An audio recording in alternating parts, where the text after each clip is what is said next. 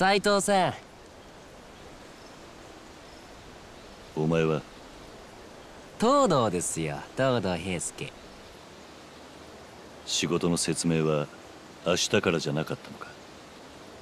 それとは別件でして。はいこれ。これは？新選組名物浅黄色の羽織です。しかもこれは隊長のみが着用許された隊長格仕様です明日からこれ着てきてくださいね。隊長としてパリッとしてもらわないと。じゃお疲れ様でした。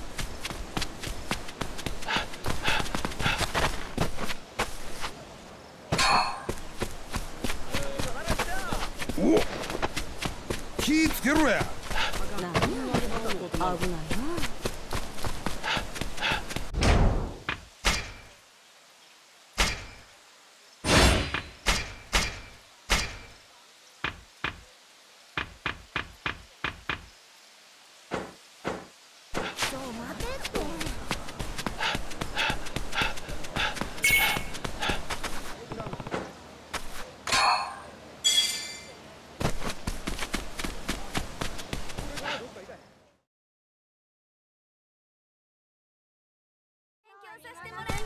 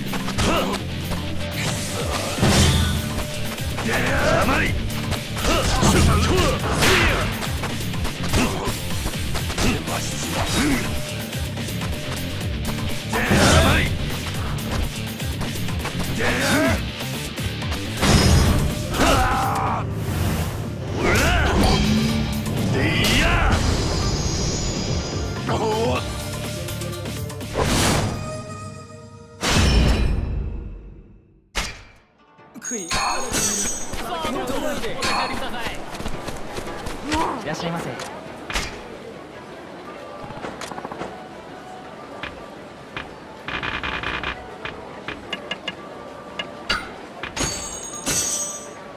ありがとうございました。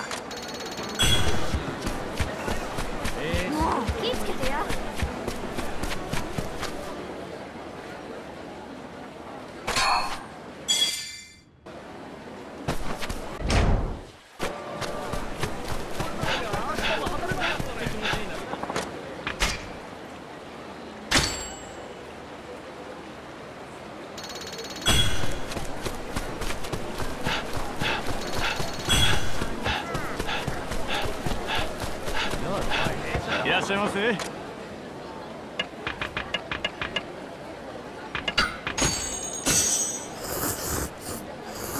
い味だ。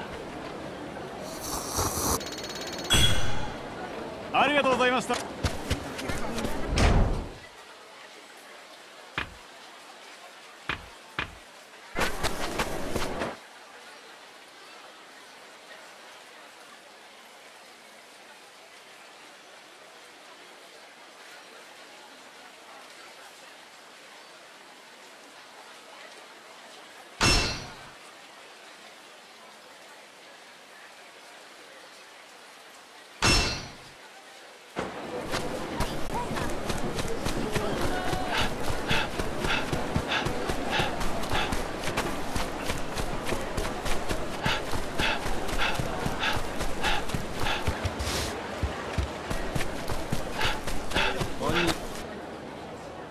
いらっしゃいませ。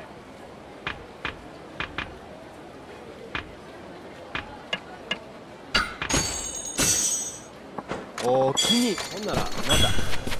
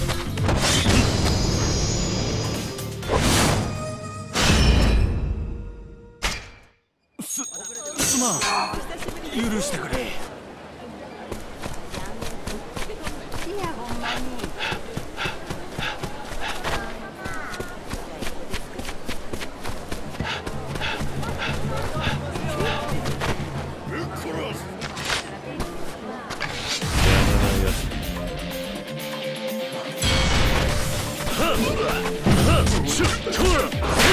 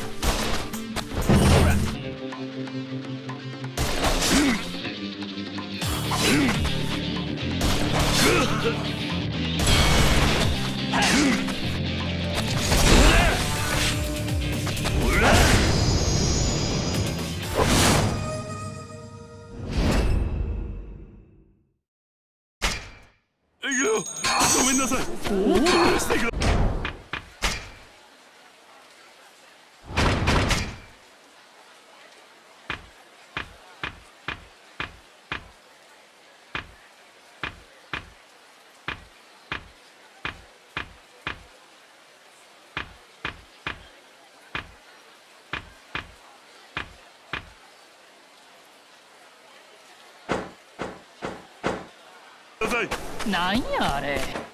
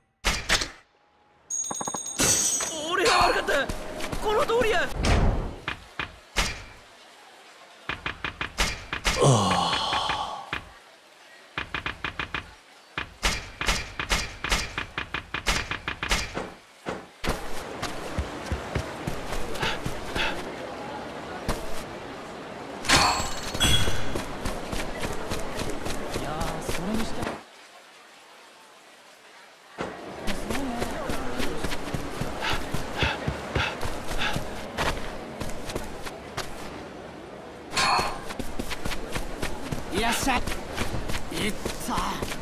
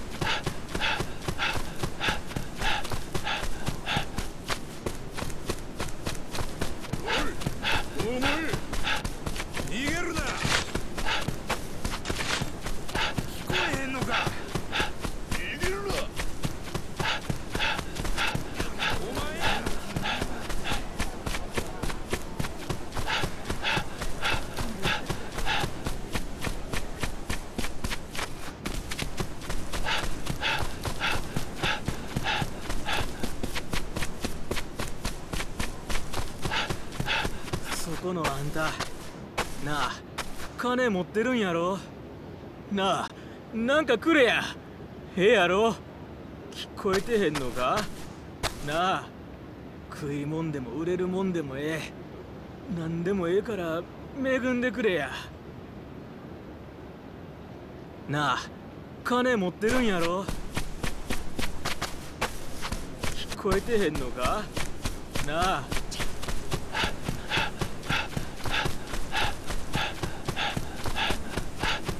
このあんた。なあ金持って。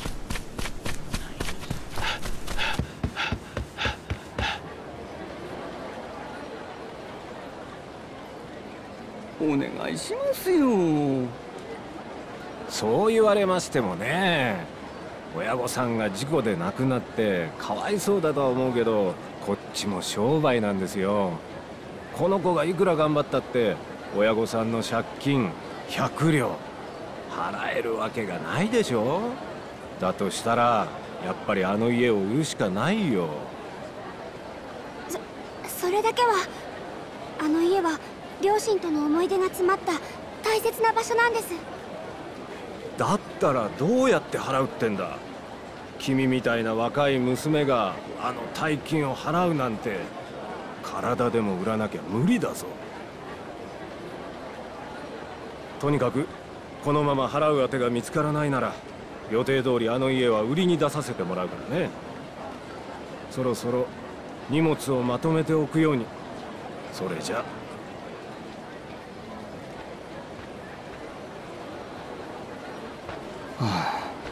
やっぱりダメか。ごめんね。なんとかしてあげたいんだけれど。いいんです神主さん。地主さんに掛け合ってくれてありがとうございました。いやこれくらい。君のご両親とは仲良くさせてもらってたからね。協力するのは当然だよ。しかし借金を払うわてか。そんなのないよな。どうしよう。おいどうしたんだ？揉め事か？あ斉藤さん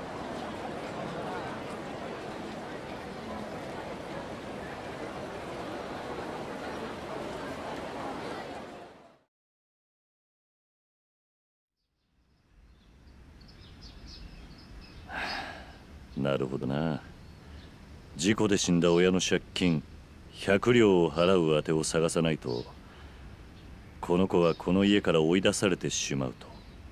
うん。だけどこんな若い子を一人で路頭に迷わせるわけにはいかないじゃない。それにこの子にとってこの家は特別に大切な場所みたいだし。そうなのか？はいこの家は事故で死んだ両親が残してくれた唯一の形見みたいなものなんです。私は生まれてからずっとこの家で育ってきました。うちは貧乏だったけどお父さんもお母さんも優しくて私すごく幸せでした。ここはそんな家族との思い出が詰まっている大切な場所なんです。両親が亡くなった今この家まで失ったら私の大切なものも思い出も全部なくなっちゃう。それがすごく怖くて。それに両親の借金も元はといえば私のせいなんです。どういうことだ？私幼い頃珍しい病気にかかってしまったんです。治すには高い薬が必要で両親はそれを買うために借金を。だからうちの借金は両親のじゃないんです。私の借金なんです。私が病気にならなければ借金もなかったしこの家を失うこともなかったのに。それは違う。親が子供のために尽くすのは当たり前だ。それはお前の責任じゃない。それにお前がそんなことを言ってるのを知ったら天国の親御さんたちも悲しむはずだ。自分を責めるのはよせ。事情は分かった。要はこの子の借金を払うあてができればこの子はこの家を失わずに済む。ということだな。うんそうだけど一つ頼みがある。この家を案内してもらえないかあはい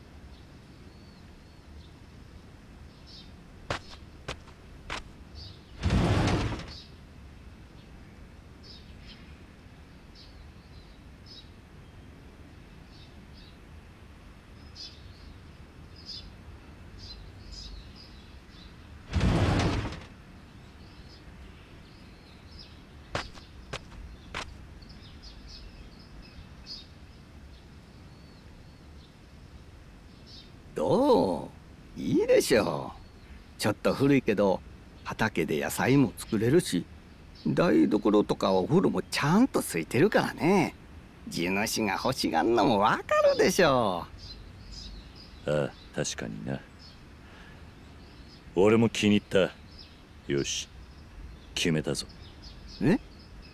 決めたって何を？さっき言っていたよな。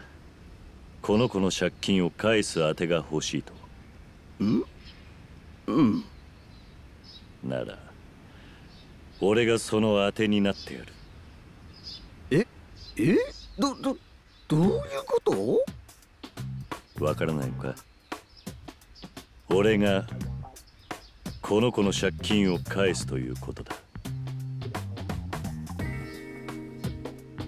え？え？え信じられない。え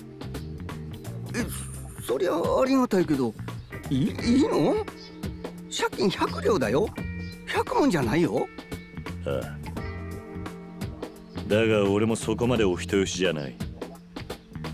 条件が2つある。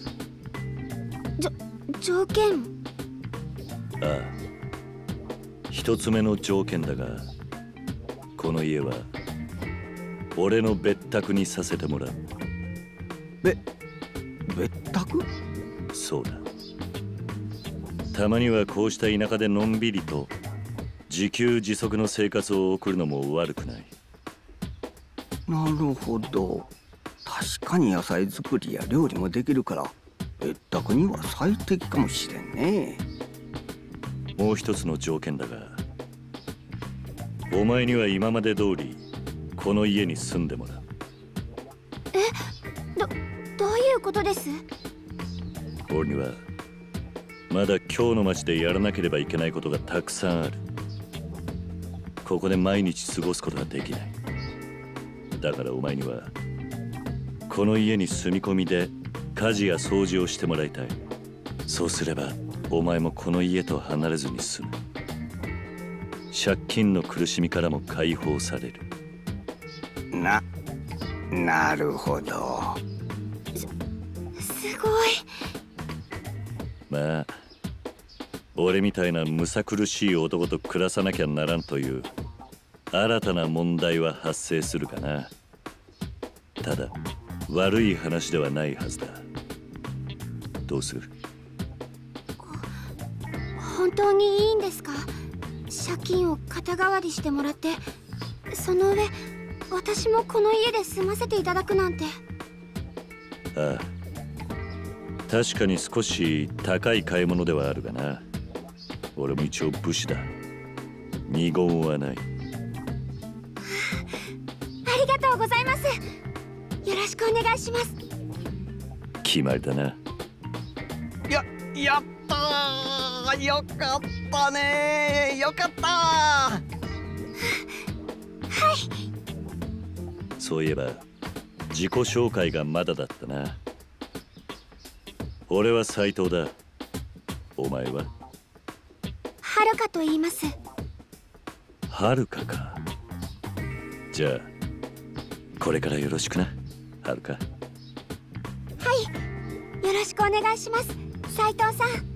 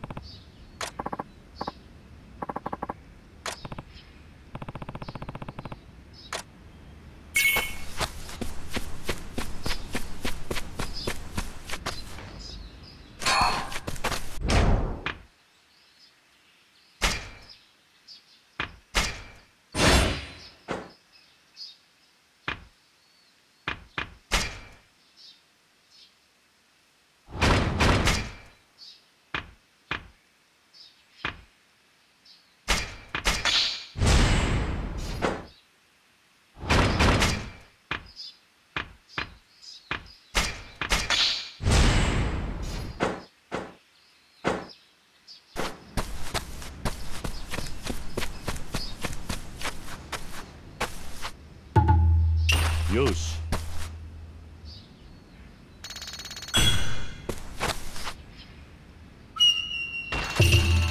豊作だ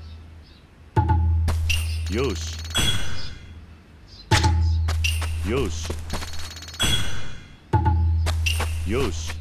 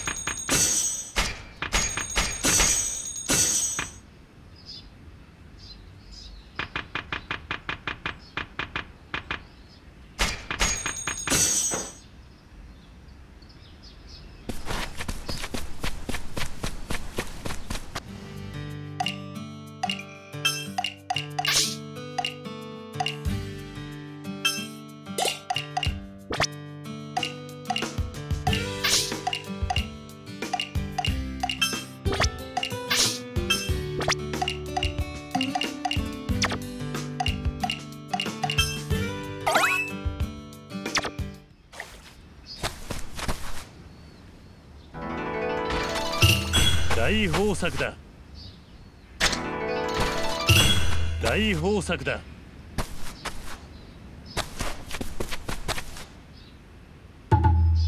よし。よし。